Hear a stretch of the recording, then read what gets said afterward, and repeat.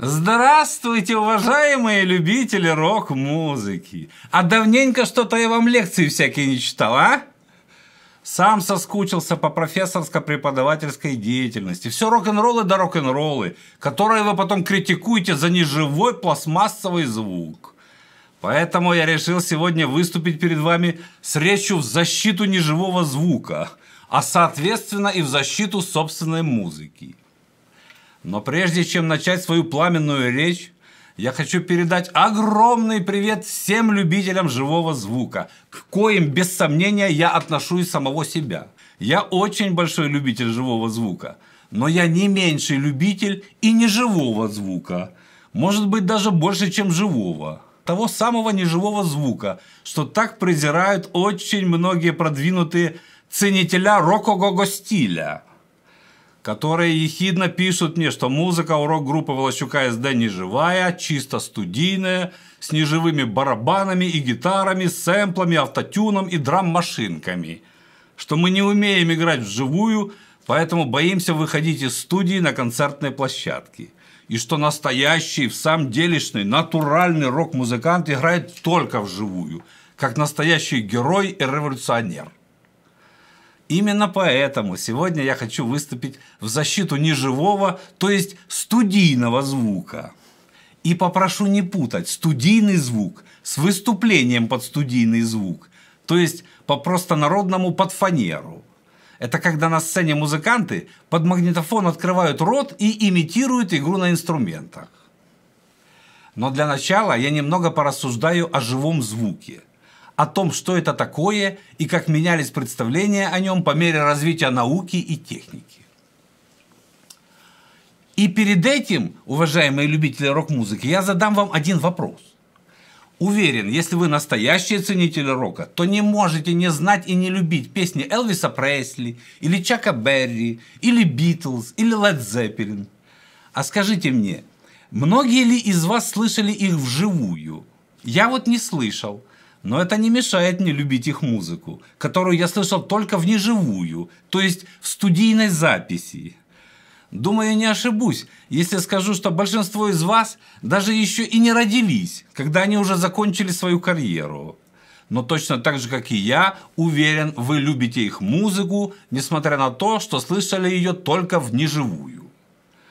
А уж про любителей классической музыки так я вообще помолчу. Даже их деды не слышали вживую Баха, Моцарта или Бетховена.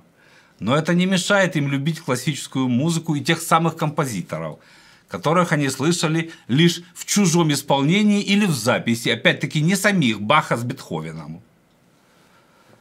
Тот же самый простой, но очень коварный вопрос я хочу задать и всем любителям рокогого стиля и живаго звука – которые постоянно стебутся над студийной музыкой рок-группы Волощука СД и надменно пишут мне, что у нас не живой звук. Уважаемые любителя тяжелого металла и нашего российского подражательского и эклектичного хэви-метал попсорепа шансона. Многие ли из вас слышали вживую ваших любимых Black Sabbath, Judas Priest, Motorhead или даже более поздних Металлика, Мегадет, Iron Maiden, Пантера или даже еще более поздних Slipknot, Distort, Five Finger Death Punch, Killswitch Engage, Trivium, Meshuggah, Tool. Ответьте, не стесняйтесь.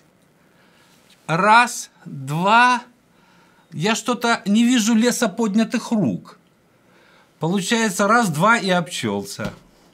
Остальные мои критиканы – Большие любителя рокового стиля и живаго звука выходят никогда в жизни, не бывали на живых концертах приличных музыкантов, а только слушали их в лучшем случае в грязной записи в Ютубе или в лучшем случае на, на магнитофоне, цифре или виниле. Но почему-то они не осуждают эти группы за их неживой звук, как осуждают группу Волощука СД. Поэтому таких моих критиканов, любителей рокового стиля и живаго звука, которые понятия не имеют, что такое живой звук, так как никогда его и не слышали в приличном исполнении, но яро за него выступающих, я называю членами секты свидетелей живого звука. То есть, подчеркну, основная масса тех продвинутых меломанов, что критикуют нашу студийную работу и носятся с живым звуком, как один небезызвестный всем товарищ с писаной торбой, никогда в жизни вживую не слышали те великие рок-группы, с которыми они нас сравнивают и приводят в пример, как образец живого звука. Поэтому я хочу задать им еще один вопрос. А как вы вообще можете кому-то что-то рассказывать про живой звук звезд рок-музыки, если вы всю свою жизнь слушаете их только в записи на различных носителях? Это риторический вопрос. Ответа на него я не жду от тех, кто слушал живой звук только в записи, да и то, скорее всего, в плохой записи в Ютубе. Но именно для них я расскажу одну очень забавную сказочку про живой звук. Давным-давно, еще на заре советской власти, на одной планете нашей галактики, на планете под названием Земля, начали появляться первые электрические инструменты, а именно электрогитары, а также звуковоспроизводящая аппаратура.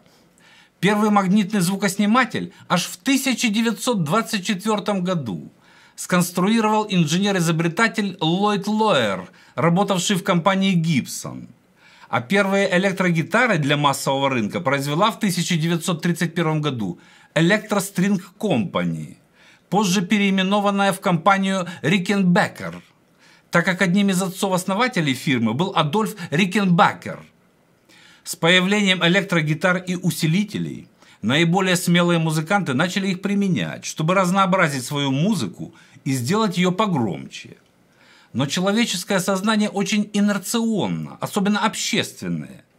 Требуются годы, чтобы изменить представление человека и тем более человечества о том или ином техническом новшестве, не говоря уже об изменении представлений человека о мироустройстве – Сотнями лет люди очень радостно, с большим энтузиазмом и чувством глубокого удовлетворения под бурные продолжительные аплодисменты, переходящие в овации, полили на кострах всяких инноваторов и первооткрывателей. Поэтому основная масса публики, а также закостеневших ортодоксальных музыкантов злобно осуждали и высмеивали тех, кто начал играть на электроинструментах, говоря, что это неестественный, неживой, металлический звук. Но прошло совсем немного времени, каких-то несчастных пару десятков лет, и игра на электрогитарах стала считаться игрой вживую, наравне с акустическими инструментами. А сейчас так вообще игра на электрогитаре во всеобщем понимании – это и есть игра вживую – Потом появились синтезаторы, и тоже считалось, что это игра не вживую, а издевательство над слушателями.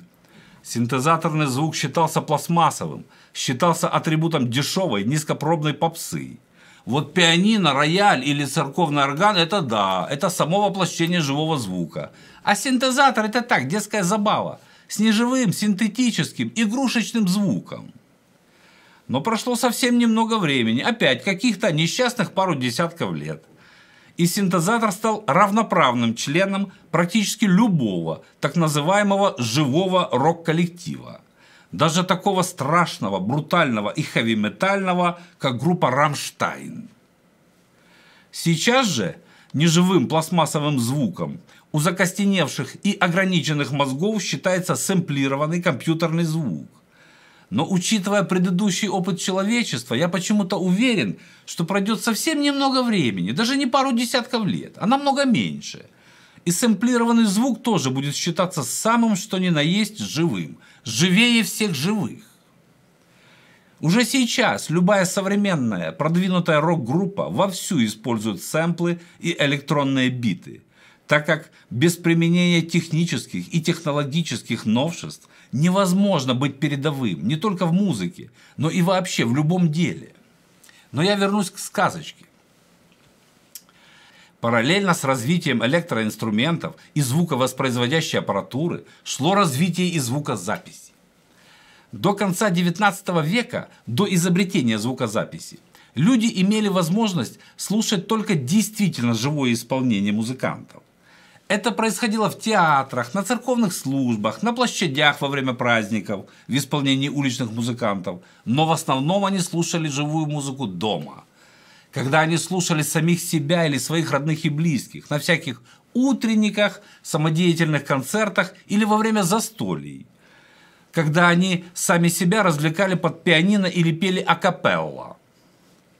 Возможность слушать вживую профессиональных, а тем более знаменитых исполнителей, была привилегией избранных. А неизбранные люди приобретали пианино или гитару, учились играть сами и таким образом потребляли музыку. Ведь человек не может жить без музыки. Даже когда голодает, он поет песни. Грустные песни, но поет. И поэтому основными музыкальными товарами в то время были пианино, гитары и ноты – конце XIX века была изобретена звукозапись. И у тех самых неизбранных, уделом которых было слушать самих себя, музицирующих на пианино и пытающихся попадать в ноты во время своего же пения, у них тоже появилась возможность слушать великих исполнителей, но только в записи. И если в конце XIX века с пластинок слышалось больше шипения, чем пение или музыка, то постепенно – уже в 20 веке звукозапись развивалась, шла все дальше, и музыка с пластинок начинала звучать все лучше и лучше. Но звуковоспроизводящая аппаратура и сами пластинки стоили дорого. Поэтому круг потребителей хорошей музыки, конечно же, расширился, но не слишком. А вот когда в 30-х годах придумали музыкальные автоматы или джукбоксы, то тут уже потребление музыкальной продукции стало массовым. Можно было прийти в ресторан или в танцевальный зал и наслаждаться пением или игрой известных музыкальных коллективов, никогда в жизни их вживую не видел. В обществе даже обсуждалась тема постепенного отмирания живых выступлений. Настолько массовым было использование джукбоксов. Музыканты тогда были в панике. Заработки с живых выступлений упали до нуля. К концу 20 века искусство звукозаписи и звуковоспроизведения достигло потрясающих вершин. К тому же, благодаря техническому прогрессу, стала очень доступна как звукозаписывающая аппаратура, так и сами носители музыкальной информации. Потребление музыкальной продукции стало еще более массовым. А затем появился интернет, и возможность потребления музыкальной продукции стала глобальной. Она стала доступной каждому. Сейчас подавляющее большинство населения земного шара имеет возможность слушать любую музыку, но только в записи. Что они с удовольствием и делают. А возможность слушать живые выступления выдающихся музыкантов, звезд сцены, как была, так и остается привилегией избранных, так как это и редкость, и дорогое удовольствие. Для примера, Приведу вам стоимость билетов на очень редкие, единственные в своем роде концерты. На последнем 70-летнем юбилее Аллы Пугачевой в прошлом году в Кремле билеты в первых рядах доходили до 300 тысяч рублей. Мы с супругой сидели в четвертом ряду за 150 тысяч человека. Но я не мог пропустить такое эпохальное музыкальное событие. Балкон стоил минимально 25 тысяч рублей – Билеты были распроданы за полгода до концерта, а перед самим концертом их стоимость поднималась кратно, до миллиона. Вместимость Кремлевского дворца 6 тысяч человек. При населении России в 150 миллионов вживую Аллу Борисовну смогли услышать 0,4% населения нашей страны. На недавней праздничной концертной программе Григория Лепса «Я нравлюсь женщинам» на 8 марта этого года в первых рядах билеты стоили по 50 тысяч рублей. Мы же с супругой наслаждались концертом в шестом ряду за 35 тысяч человека. Вместимость Крокуса сопоставима с Кремлем. Значит, процент населения России, посмотревший и прослушавший концерт вживую, тот же самый – 4 тысячных процента. Вот это и есть тот реальный процент людей, проживающих в России – которые имеют возможность слушать музыку выдающихся музыкантов вживую. На планете же Земля, где ежегодно, по разным оценкам, от голода умирает около 50 миллионов человек, а постоянно недоедает пару миллиардов жителей планеты, Думаю, процент счастливчиков, слушающих звезд мировой эстрады вживую, еще меньше. Именно поэтому у меня вызывает гомерический смех осуждение нашей студийной музыки членами секты свидетелей живого звука, подавляющее большинство из которых никогда в жизни не бывали ни на одном живом концерте звезд эстрады, никогда не видели и не слышали ни одной живой рок-звезды и имеющих только теоретическое представление о живом звуке. Их осуждение нашего студийного творчества напоминает мне осуждение Бориса Пастернака в 1958 году, когда ему присвоили Нобелевскую премию по литературе за доктора Живаго. Так вот, один критикан во время этой травли писателя сказал «Пастернака не читал, но осуждаю». Вот так говорят и наши критиканы, любителя рокого стиля и живаго звука. Живого звука никогда в жизни не слыхал, но студийное творчество Волощука СД осуждаю. И так считают не только продвинутые критиканы, носящиеся со своим представлением о живом звуке, как уже упомянутый мною небезызвестный товарищ с писаной торбой – Точно таким же осуждательством занимается подавляющее большинство обывателей, которые также никогда не бывали ни на одном живом выступлении, а только слышали музыку по телевизору, по радио или из смартфона. Но обыватели точно так же смеются не только над всякими поющими трусами, открывающими рот под фонограмму, но даже над высококлассными профессиональными музыкантами, такими как Филипп Киркоров, создающими прекрасные студийные записи именно для этих потребителей. А смеются потому, что раз так пишут и говорят аж сами члены секты свидетелей живого звука, всякие продвинутые музыкальные журналисты и еще более продвинутые музыкальные блогера, то значит и обывателям надо над этим смеяться и потешаться. Вы можете мне сказать, так не только же звезды выступают на сцене, а есть масса никому неизвестных местных коллективов, которые играют вживую, по всяким барам, ресторанам, свадьбам и корпоративам. Да, я соглашусь, это так. Но звучание рок-группы Волощука СД не сравнивают с никому неизвестными провинциальными коллективами со школьным звучанием. Нас сравнивают со звездами тяжелого металла – хотя мы играем в стиле новый хард-рок. Спасибо, конечно, любителям рокого стиля и знатокам тяжелого металла, что ставят нас на одну доску с самыми передовыми и лучшими образцами мирового рок-движения, подтверждая нашу заявку на то, чтобы стать лучшими.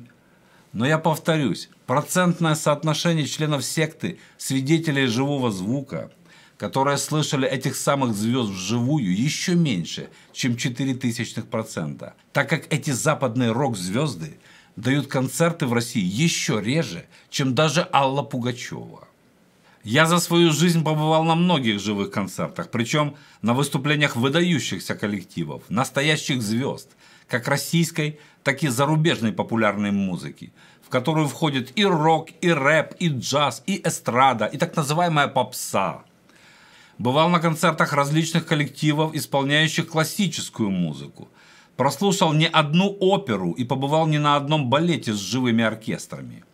Поэтому я очень хорошо и отчетливо различаю действительно живую музыку на акустических инструментах и такую же, по моему мнению, живую музыку, только с использованием электроинструментов и электронной поддержки и очень хорошо отличает такое позорное явление, как пение под фонограмму, или по-простонародному под фанеру, или, как я сам говорю, под магнитофон, когда музыканты просто открывают рот и имитируют игру на музыкальных инструментах. Это явный обман публики, пришедшей и увидеть, и услышать живое исполнение. Это еще хуже, чем любительское караоке.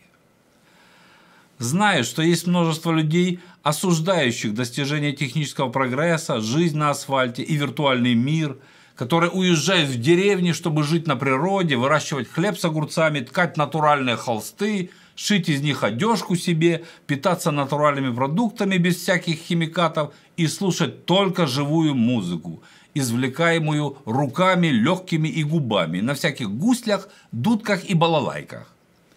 Но я вот почему-то не вижу ничего плохого в том, чтобы жить на асфальте и пользоваться всеми достижениями цивилизации.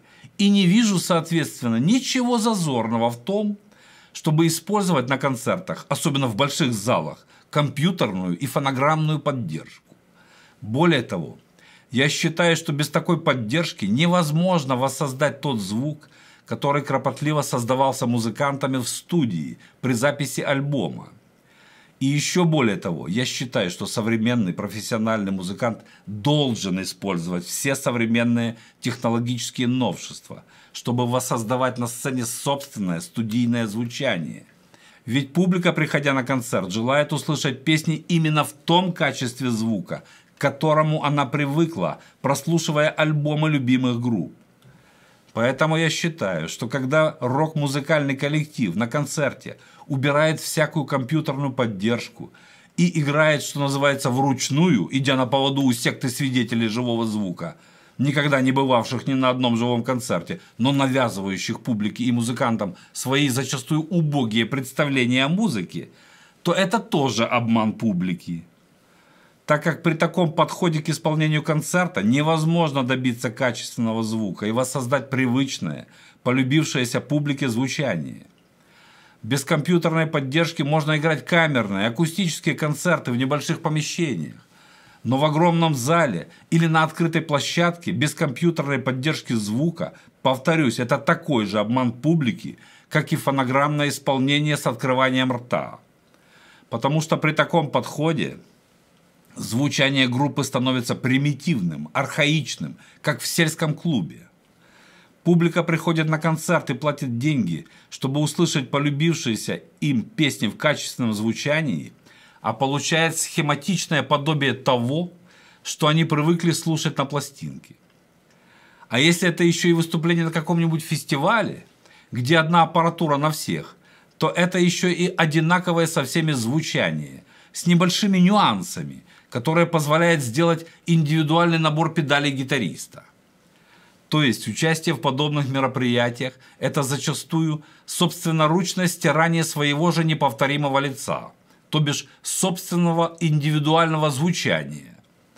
Я не раз бывал на всяких нашествиях, максидромах и др.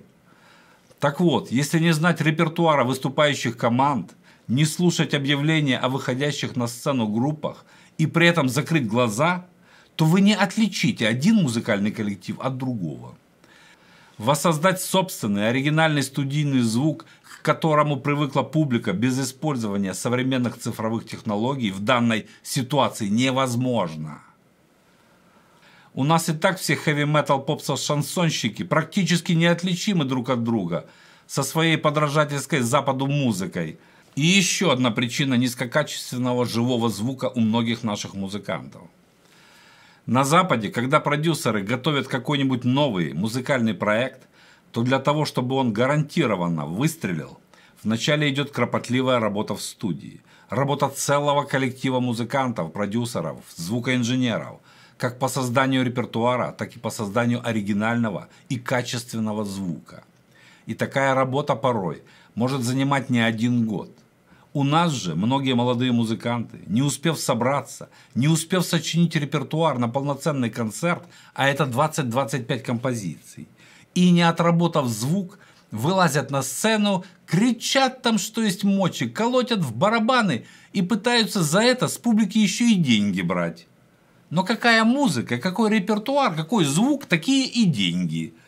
За копейки развлекают people, который все схавает – своим одинаковым, до неразличения звучанием, грязным звуком, одинаковой тематикой текстов и подражательской Западу стилистикой, в которую они только привносят модную ныне матерщину и нашу доморощенную эклектику попса репа шансон. Это бездумное смешение разностильных элементов, тем самым еще больше добавляя грязи и шума в свою вот такую вот раз прекрасную, но зато живую музыку и при этом радуются, как дети, резвятся, развлекаются, а бы только ничего не делать. Поэтому, отвечая своим хулителям, которые осуждают нас за нашу студийную, неживую музыку, и утверждающих, что мы не умеем играть, и поэтому прячемся в студии, набивая все на компьютере, отвечу так. Мы не выходим на сцену не потому, что играть не умеем или боимся публики. Нет, ребята. Мы не выходим на сцену как раз именно потому, что с большим уважением относимся к публике. И пока мы не отработаем собственный неповторимый стиль, не добьемся очень качественного и оригинального звучания, а также пока не создадим достойный и интересный репертуар с осмысленными текстами, на концертной площадке мы не выйдем. Но надеемся, что это произойдет уже в этом году. Кто следит за нашим творчеством, тот видит, как мы очень плотно над этим работаем и неуклонно движемся к сцене, к концертной деятельности. А в своем подходе к созданию оригинального стиля, репертуара, к созданию достойного звука, к созданию качественных студийных записей и в своем отношении к публике у нас есть прекрасный пример для подражания.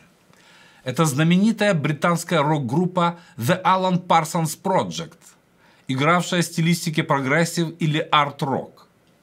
Но об этой прекрасной группе, настоящих звездах мировой рок-музыки, я расскажу вам завтра, чтобы не утомлять вас слишком длинными блогами. И заодно объясню, почему именно эту группу я взял в качестве аргумента в защиту неживого звука – Напомню, что этот мой блог называется «В защиту неживого звука». До свидания, друзья, до завтра.